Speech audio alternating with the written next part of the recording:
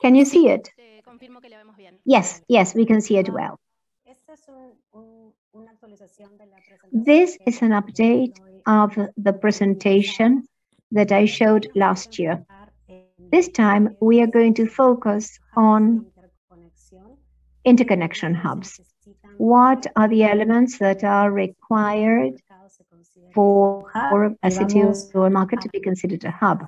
So we are going to analyze five regional markets. What is a hub? A hub is a, a city or a market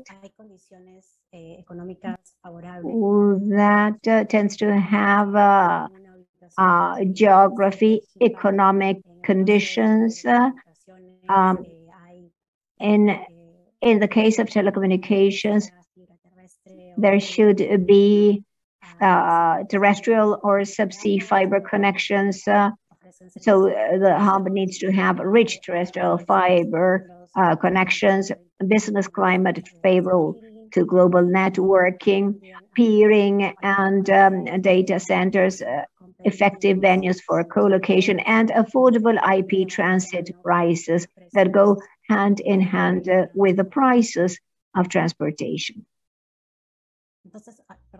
So let's start with submarine cables. Wait a second, because I'm trying to remove something here. This uh, chart shows the amount of money invested in uh, submarine cables from uh, in 2018, 2020, and then the period 2021, 2023 in Latin America. 1.2 billion dollars were invested in the first period, 2018, 2020, and 0.8 billion are expected to be invested uh, from the 2021 to 2023. Latin America was uh, the region that invested the most in the first period. Um, ¿Cuántos cables hay? How many cables are there operating in the region? Well, that information can be found in www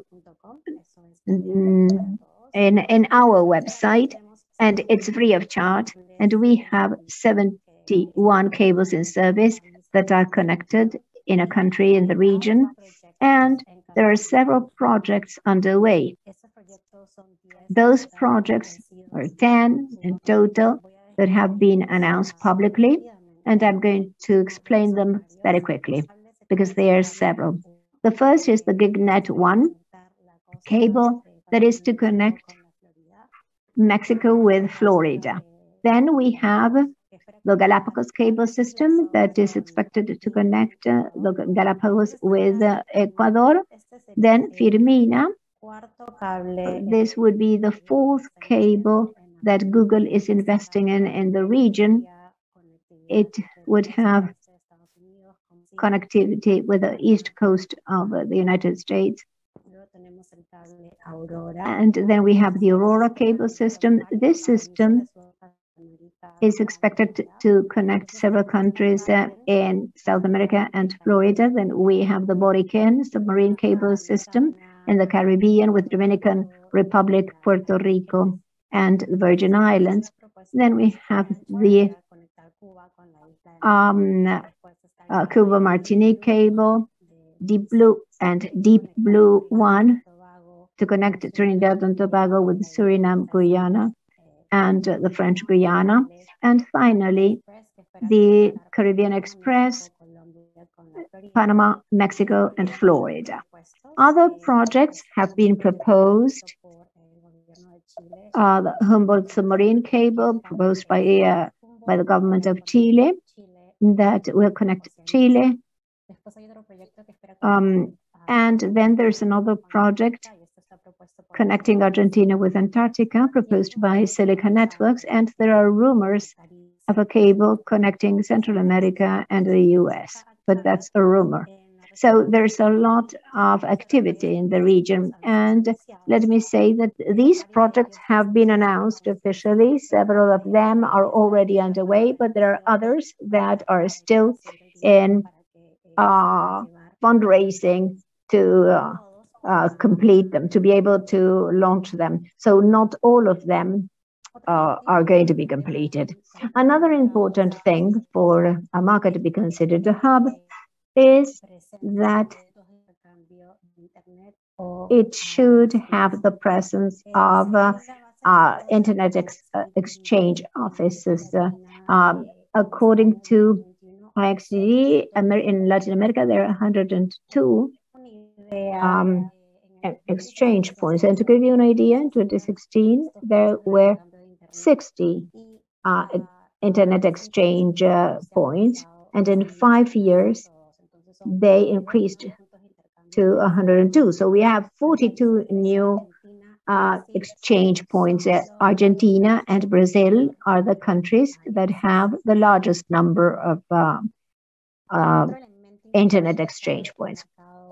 Another important thing for a market to be considered a hub is that it needs to have the presence of cloud service providers. These are the companies such as Microsoft, uh, Oracle, IBM, uh, Google.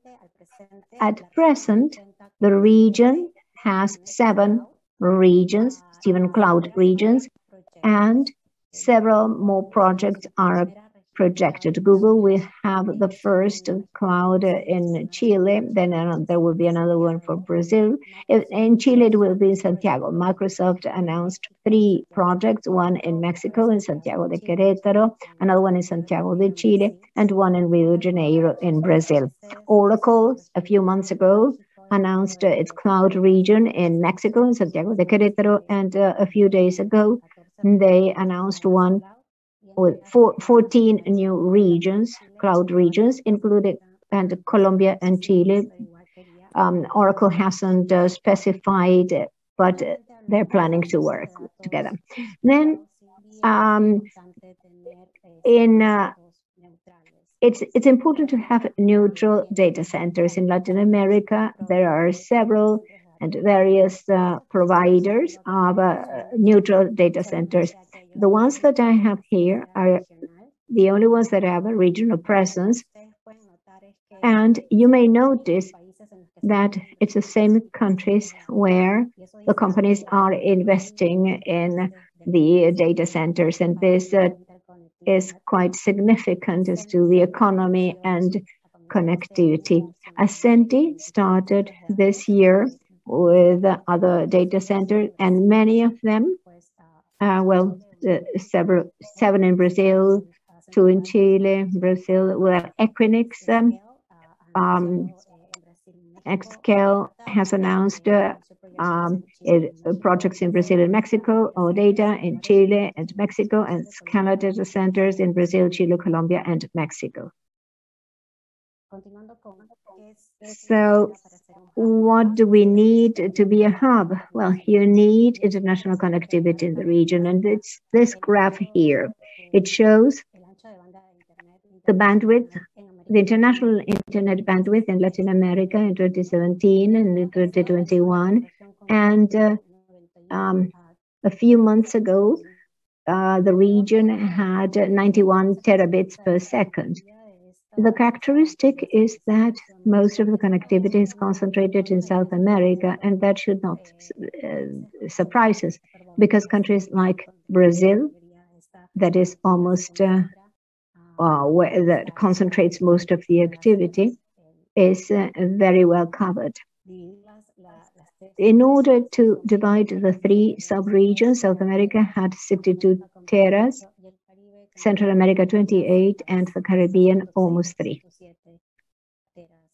Uh, the so the total amount is 68 percent. So mm, this we wouldn't be able to have a, a presentation of telegeography without speaking of prices. The first uh, prices are of, of, transport. Here we have the weight, the weighted uh, uh, median in uh, of 10 gigabits uh, per second um, in the in the second quarter, from the second quarter to 2018 to 2021. But the prices are changing. Four of these routes have prices under $3,000. But as an average, the, there was a reduction of uh, prices from 22 to 23% in the last three years. I want to highlight something that is important because uh, some people say, well, that's very expensive, uh, and that doesn't reflect the current uh, condition. But remember that is, this is a weighted median. So from Sao Paulo to Miami, the median is $6,000. And the lowest price reported in June, July was uh, 502. Uh, uh, 3,500. Most go from range from uh, 3,500 to 6,000. This is only as a reference. This, the next slide is the pricing trends of IPT. It's very similar to uh, the um, to what we see in uh, the transport prices. We see a reduction of 24%-25% uh, uh, this in recent years, and this year, 33%. And you see that Sao Paulo and Mexico City are different worlds with respect to the rest of the, of the region where the prices are less than $1. Do I have uh, 10 minutes? I have five more slides to go. Let's uh, go to uh, five markets. We, I chose five markets because three of them have the greater connectivity internationally. Sao Paulo, Brazil. Sao Paulo. We'll start with Sao Paulo, Brazil. Sao Paulo ranked number one in terms of international internet capacity this year with 13.6 terabits per second in 2021. It grew 25% between 2017 and 2021. Sao Paulo has five cloud regions, AWS, Google, IBM, Microsoft, and Oracle. And the subsea cables don't land. These land in the cities that are nearby, which are Praia Grandes and Santos. There are seven submarine cables in service. And in Firmina, will, this will land in Praia Grande by 2023. And Sao Paulo evidently connects a very rich ecosystem in terms of data centers and also of IXPs. Buenos Aires ranks number two in terms of international internet capacity with 13.3 terabits per second. Buenos Aires does not have uh, clouds, but they have IXPs and data centers. The submarine cables don't land in Buenos Aires, but they land in the neighboring city of Las Toninas. And in fact, this year, the cable landed there and provides connectivity between Argentina and Brazil. And Firmina will, as I said, land in Las Toninas. Then we have Mexico 3, which ranks number 3. They have 7, 9.2 terabits in 2021. Nine, it still doesn't have any cloud region yet, but there are two that have been planned, one uh, Microsoft and one of Oracle. And they're going to be in the cities of Santiago, in the city, sorry, of Santiago de Querétaro. This is a neighboring city.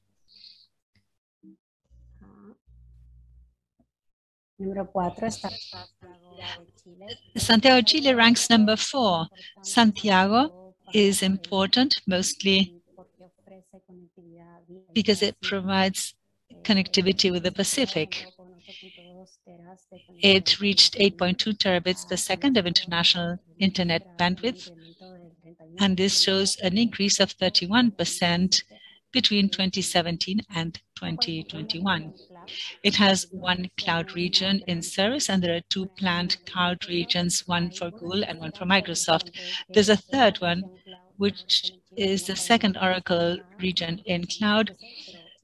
In Chile, an Oracle one, it will probably be in Santiago. There are sub, five subsea cables that land in the neighboring city of Valparaiso. And finally, Fortaleza, Brazil. Brazil is, has an important location. In Brazil, Fortaleza has 11 submarine cables which land in that city. Fortaleza provides direct connectivity to United States, but also direct connectivity to Europe via the EllaLink cable and also to Africa via the SACS and the SAIL cables. The city has reached 5.2 terabits per second of international bandwidth connectivity, and it grew 33% between 2017 and 2021.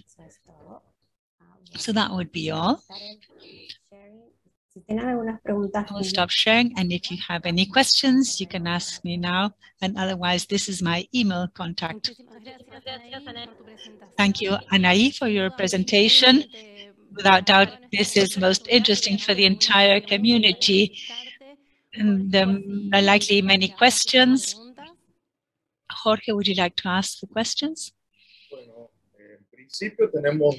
Well, in principle, we have two questions here but maybe more questions come up soon. The first question is from Asael Fernandez. Good morning. Once again, congratulations on the presentation. How do we define or how do we take into account the neutral data centers, only those located in universities? Hola, okay, me ven? um, no, un data center neutral no, a neutral data center is one that is not affiliated to a carrier. For example, an ISP Ana well, that is not a neutral data center. It doesn't have to be related to any other carrier. So that is a neutral data center. Those you see here are the neutral data centers in the region. And so the, the names of some uh, work, some of these are working in the region and they have provided international connectivity. Thank you. Jorge, are there more questions? Yes. We have three more questions. Anaí is a very popular speaker today. Her presentation was one of the most awaited presentations of the of the meeting. So, Carlos Sanabria, what is the megabit per second price in those countries where they don't have submarine cable? Thank you for your question. Well, this depends. Can you send me an email? Because the price varies largely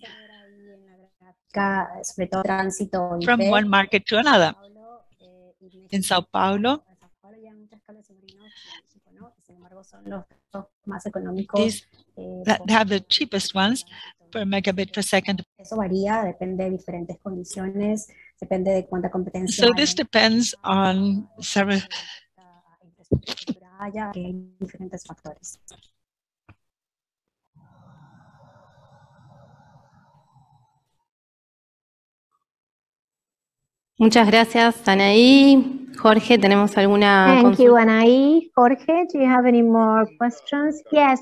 Here, Oscar Javier Cárdenas is asking, what is the value of international uh, bandwidth uh, and how much has it increased in, in Bogota and how much has it increased in recent years? Well, I don't have that information here, so uh, could you please send me an email address? Pero, um, Because we, we, well, we only have one minute, 47 seconds, and I wouldn't be able to give you that figure now. Muchas gracias, Anaí. Si dejar- Thank you, Anai. If you wish, we can uh, leave your email in the chat so that they can contact you. Seguimos, eh, aquí en sala de Jorge. consultas, así que seguimos contigo. Bueno, pues aquí tenemos We go on with you. Well, here we have one of uh, Guillermo Arriero that says, uh, considering um, the new uh, uh, bandwidth, the new projects, we can continue the bandwidth prices to go down. Yes, the prices in the market, in the telecom market, always have that uh, um, that characteristic. Sometimes we wonder how is it that the companies and the carriers make money? It's because of the volume.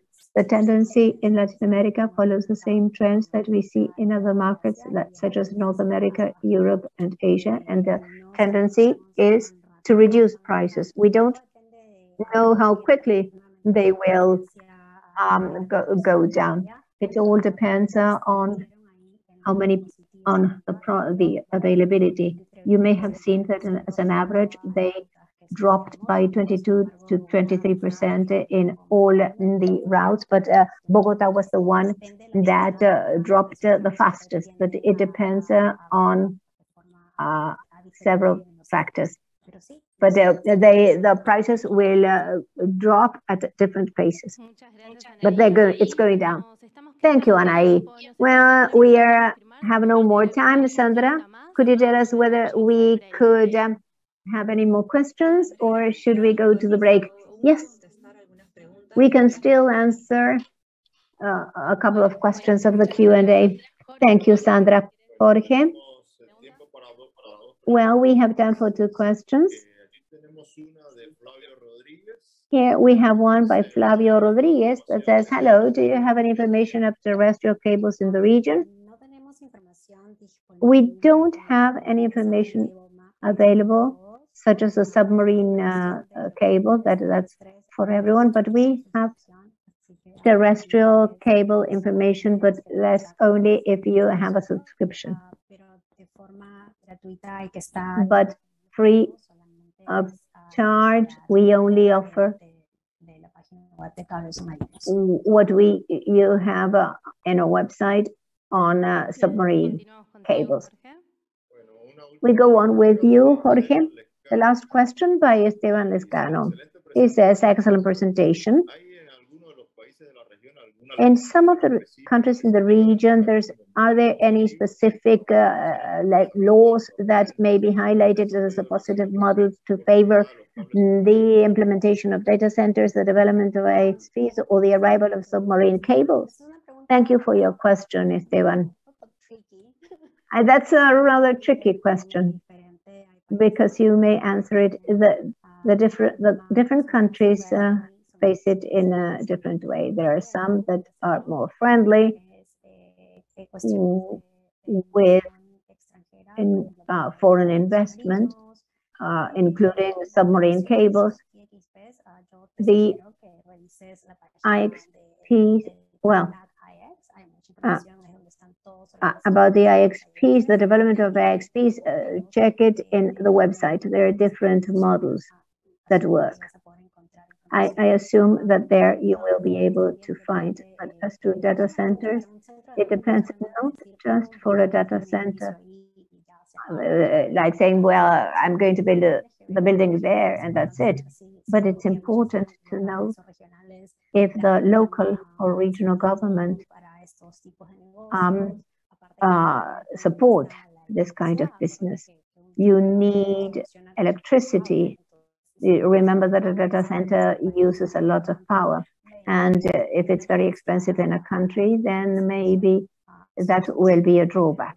So there are different factors that have an impact. It's a different world. And that is why that Latin America, in spite of the fact, um, uh, well, it, uh, Latin America is a region in general, but the countries have very different landscapes.